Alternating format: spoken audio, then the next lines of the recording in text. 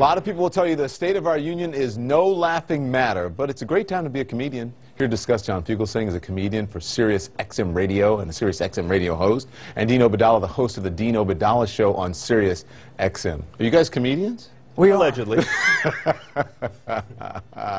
so President Trump has had a gold mine, has been a gold mine for late night comedians. Let's take a listen to this. If you're waking up from a coma,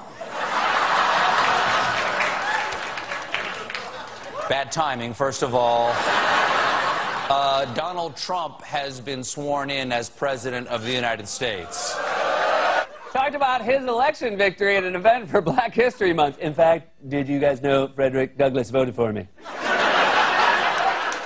Very alive, great guy. Are we going to have to eliminate another civil liberty every time the president is cranky and won't go down for his nap? Oh, don't cry, little Donnie. Here, look. It's the keys to the private prisons where we're going to lock up all the undocumented immigrants. First of all, you're all fake news. I hate you all very much, and thank you for being here. First question, no. Next. But, Mr. President, no one has even asked a question Doesn't matter. yet. No. Next. I don't know why he decided to have an unscheduled press conference today. My guess is that he did it because he was mad and he just wanted to blow off some steam. The tone of the press conference was like if your dad found a, a pack of cigarettes under your mattress. It was, he was mad. He talked for an hour and 17 minutes, which is more than he's spoken to Melania all this year, the whole year. I love that Kimmel guy. So listen, is Dean? Yes. Do you think that uh, late night is edgier and harder now, or is it funnier? Is it easy? I, was, I spoke to uh, Kamau Bell, and he said it's kind of easy being a comedian now because all you have to do is make fun of Donald Trump. It is, on some level it is, and the appetite of the American audience is to see political humor. Look at Colbert is now, the last five weeks, beating Jimmy Fallon in the ratings. That was unthought of before this election. Because Colbert is going after, after Trump, people want to laugh, they want the cathartic stuff. And, and Trump gives us material, yes. I mean, the guy said Obama bugged his office. Next it'll be like Obama shot Tupac. Or Obama put the, uh, the Warren, gave Warren Beatty the envelope of the Oscars. Biggie's anniversary. So, Well, Tupac and. Biggie. But the point is, yes, he gives material, but there is a fear factor in communities of color, Muslim community, LGBT community, of Trump. So we weigh both of that. We're using humor to be cathartic and empowering. Them. Yeah. Yeah, I mean, the audience is there for it, right? If the audience wasn't watching it, they would change their humor right away. Donald Trump's been very good for comedy. I'm raising a four-year-old in Manhattan, and Donald Trump helped pay for my kid's preschool. I owe that man a lot.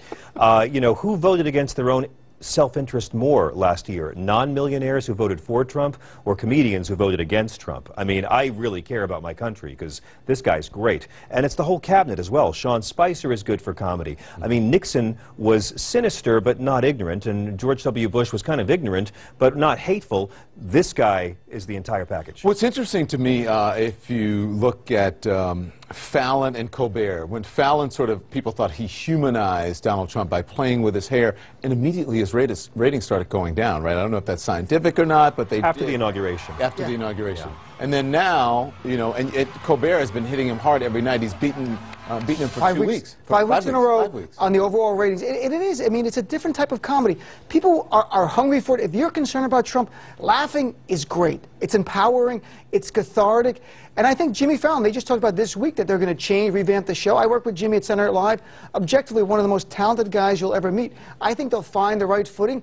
But when he messed up Trump's hair and played around with him in the fall, Trump wins. I think some people held that against Jimmy fairly or unfairly. I think they have. And I think there is a danger of, you know, the airwaves and the comedy clubs being oversaturated with bad Trump material. Donald Trump has sort of become airport jokes now. Like, you feel like everyone does their material on it, but I like airport jokes if a comedian has something original to bring to the table. If you're just doing orange spray-tanned fascist jokes, it'll get boring early. If you've actually got a point of view and you're making something happen with your jokes, then we'll lean in. The first rule of comedy is it has to be funny. Well, Gotta be no, funny. and, and with political comedy, it has to attack up. It has I to mean, attack- yeah. It's why Yeah. it's why it's a good time for progressive And get comedy. paid in advance is the other rule. Let's talk about, I mean, Melissa McCarthy. Melissa McCarthy, I mean, she has been brilliant playing Sean uh, Spicer on, on SNL.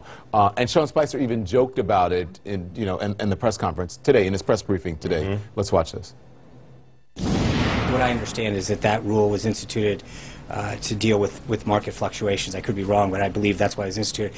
I think tweeting out, great way to start a Friday, here are the actual numbers that you all have reported, um, is a bit silly. I mean, don't make me make the podium move. Um, I, Yeah, was, is she in his head? Well, you said I mean, you're well, going. well, well, this is well, this is this is Sean humanizing himself. I mean, Sean Spicer. I, I, I, it's strange. I feel bad for him, yet I don't. He sort of looks like the before picture in a Xanax ad.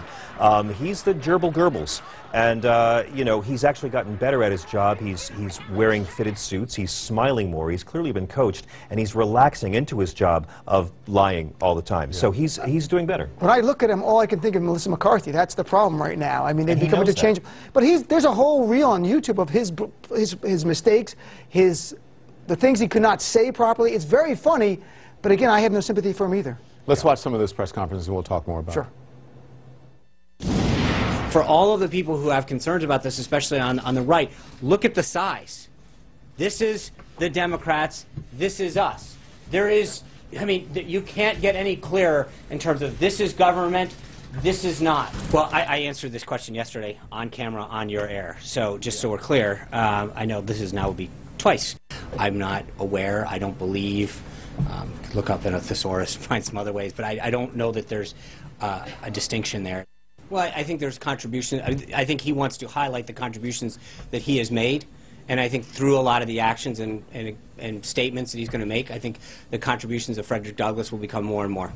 I, I would ask you guys why this is such great fodder for comedy, but it's obvious, and it, He's giving Melissa McCarthy material by holding up props. bizarre don't, every don't, day. don't help her, Sean. surreal. When he has the Skype interviews, he's the first press secretary to ever try phone a friend. I mean, he's just giving them material all the time, and it's hurting him. I, I think for Halloween, I'm going to go as the screaming guy from the Edvard Munch painting and tell people I'm going as Sean Spicer's conscience.